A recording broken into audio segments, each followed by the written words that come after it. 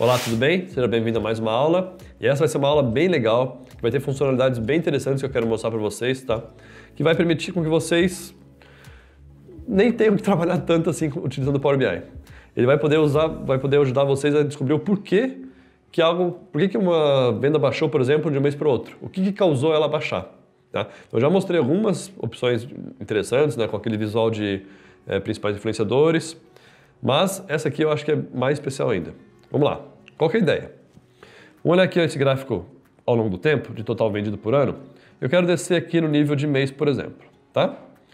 Eu vou expandir lá ele. E eu quero que o Power BI me ajude a explicar por que, que teve essa queda aqui ó, de vendas entre janeiro, dezembro e janeiro aqui. Tá? Deixa eu tirar o tooltip ali. Ó, o que eu vou fazer? Botão na direita aqui em cima do ponto, onde teve a queda. Analisar, explicar a diminuição. E aí esperar que o Power BI rode ali os seus algoritmos para te ajudar. Então tem lá, ó, há uma análise de diminuição de 50% é, entre, 17, entre, entre dezembro de 2017 e janeiro de 2018. E aí ele vai cruzar os seus atributos, seus, seus campos, né, para poder explicar o que, que causou essa queda. Olha só que legal. Claro, ele vai fazer umas, umas furadas aqui, né? Por exemplo, está dizendo que o trimestre 4 é, é menor do que o trimestre 1, enfim, não tem nada a ver. Isso aqui também não tem nada a ver. Isso aqui também não tem nada a ver. Vamos ver. É, aqui, ó. Aqui começa a ficar legal. Olha só. Ele está dizendo que laptop e desktop foram as subcategorias que mais trouxeram decréscimo entre as vendas. Hum, interessante. O que mais? Uh, não. Aqui também não tanto. Aqui, ó. Está me dizendo que a marca Adventworks e a Wide World Importers foram as que trouxeram o maior decréscimo entre as marcas. Então já sei quais foram as principais marcas que caíram venda, as principais categorias, lá em cima subcategorias, né? Aqui o número da venda, não é tão legal. Aqui os dias, sábado, domingo, tá? Vamos rodar aqui agora um diferente, olha só. Agora eu vou, opa, deixa eu clicar fora. Vou dar um zoom de novo. Eu quero ver agora um que aumentou. Por exemplo aqui, ó. O que, aumentou aqui? Da direita, analisar, explicar o aumento. Vamos ver se ele ajuda a gente também a explicar por que, aumentou. Tal, tal, tal. Aumentou legal. Aqui, ó. Aqui desktop e laptop foram que aumentaram a categoria. E olha só, ele põe um gráfico de cascata, né? Com antes e depois. Desktop e laptop foram os que mais aumentaram. E teve uma queda lá, ó, de projetor, né? Então esse aumento aqui foi maior do que a queda lá. Esses aumentos, né? Quais foram os dias que tiveram aumento de venda? As marcas que tiveram aumento, de venda. Isso aqui não é tão legal. A classificação também não é importante. Quais foram os produtos?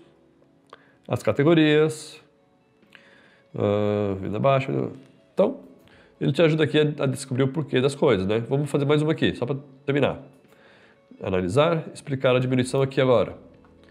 Mês a mês você pode fazer essa análise aqui do jeito que quiser, tá? E se eu gostar de algum visual, ó, ah, quero deixar isso aqui fixo lá. Vamos pegar aqui, por exemplo, um que eu acho interessante. Uh, essa aqui, ó, que tem as marcas. Gostei desse carinha aqui, gostei dessa análise. Vem aqui, ó, no mais. Ele criou para você lá o visual. Dá um Ctrl X, tá, para recortar. Página nova, Ctrl Z, Ctrl V. Tá lá. E você pode, a partir disso, agora fazer suas edições à vontade. Pode mudar aqui o que você quer analisar. Pode mudar aqui filtros, ó.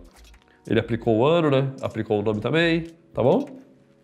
Ah, vamos supor, lá na página inicial, eu quero fazer uma análise de... Não é importante para mim ver mês a mês, mas sim, por exemplo, é, o ano, o mês desse ano contra o mês do ano anterior. O que eu posso fazer? Posso botar aqui um mês fixo. Por exemplo, aqui, ó. Uh, aliás, é, um mês fixo, por exemplo, março. Tá? E aí eu tenho lá, ó, os três meses, ó. Três, os três anos, aliás. 17, 18 e 19. Eu quero saber por que, que aumentou aqui de, de 2018 em relação a 2017. Botão da direita, analisar, explicar o aumento.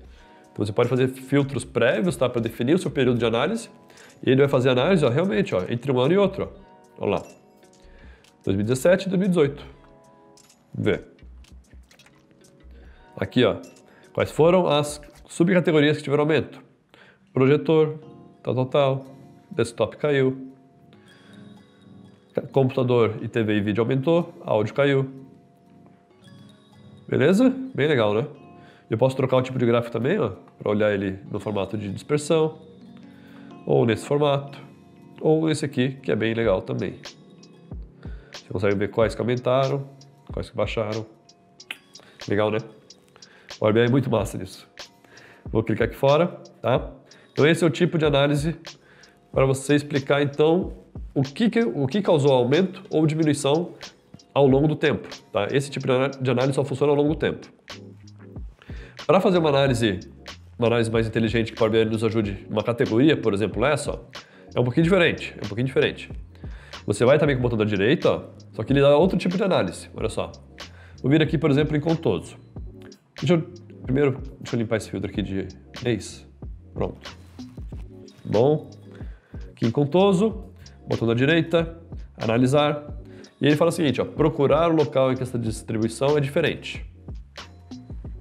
Coloquei lá. Aí olha só, tá? Ali é marca, né? Ó, tá vendo ali, ó? É uma análise de marca. Então tô vendo contoso, tá? Contoso. É... Aliás, quando eu clico lá, ele já vê o... Vamos, vamos, vamos avançar que eu vou explicar com mais calma. O que ele tá fazendo aqui, ó? Ele tá olhando aqui as marcas, olha só. Tá vendo esse eixo aqui? Esse eixo aqui é esse eixo aqui. Foi da onde eu tirei o gráfico, né?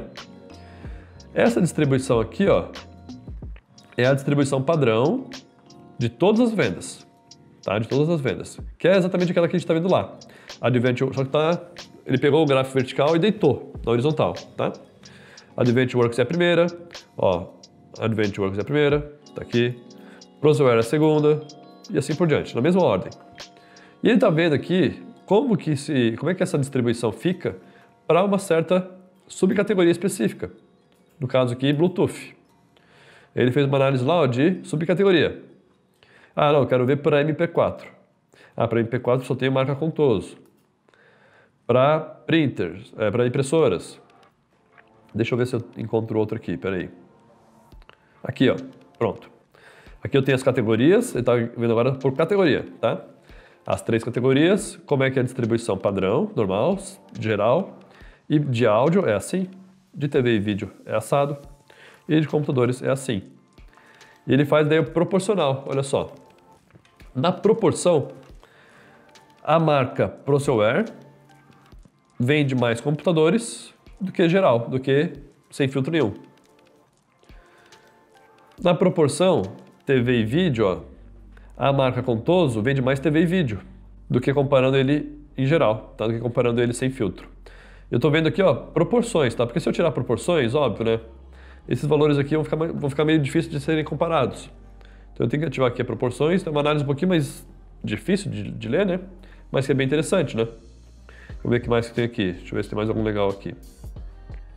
Com os anos aqui, tal, tal, tal. Aqui nos meses, olha só. Os meses, ó. Então aqui, proporcion... aqui é o geral, né? Então o cinzinho aqui é o geral, tá? Que é a mesma curvinha de lá, sem diferença nenhuma. Aí ele está olhando aqui como é que abril de 2017 se comparou ao geral. Em abril de 2017, proporcionalmente eu tive mais vendas aqui de ProSeware. Legal?